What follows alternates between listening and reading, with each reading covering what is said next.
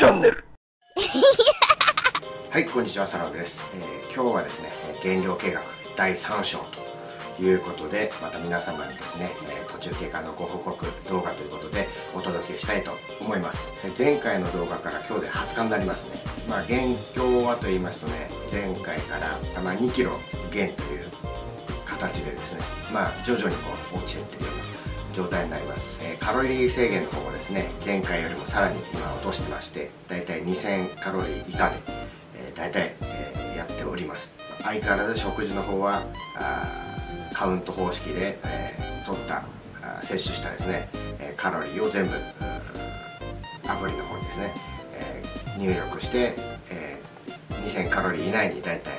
まとめて、えー、いるというような状態です。筋トレの方もですね以前同様まあ、定期的にですね、えー、実施しているような状態になっております。それではですねちょっと筋肉の方ですね、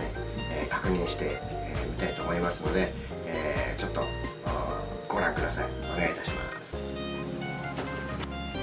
まあ、このような状態になります。でだいぶですね、え、また腹周りの方もちょっと絞れてきたというような形でですね、え、だいぶ下腹部のね、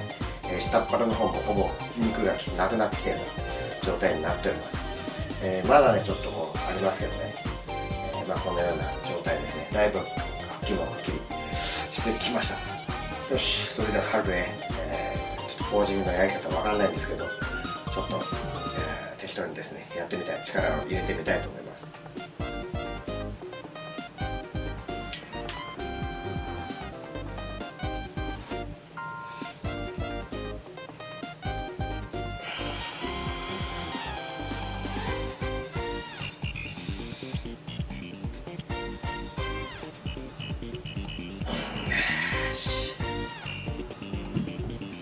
横になりますね。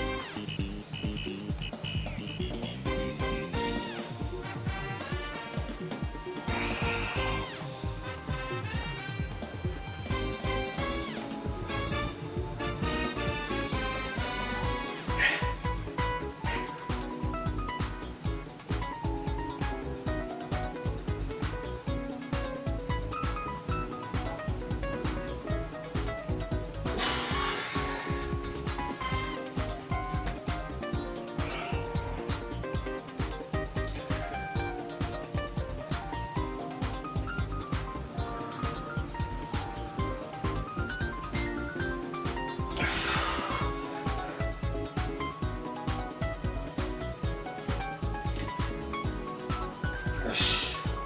まあこのようなあ状態です。えそれでですね、え今後の、まあ、目標なんですけどね。まだちょっとまだ絞れるのかなというちょっと印象自分では印象ですんで、えー、あと、まあ、2キロぐらいかな。あちょっと落としてみたいと思います。また第4章に続きます。よろしくお願いします。それではですね最後まで見てくださったあなたこれも何かの縁でございます。ぜひチャンネル登録よろしくお願いいたします。それではまた。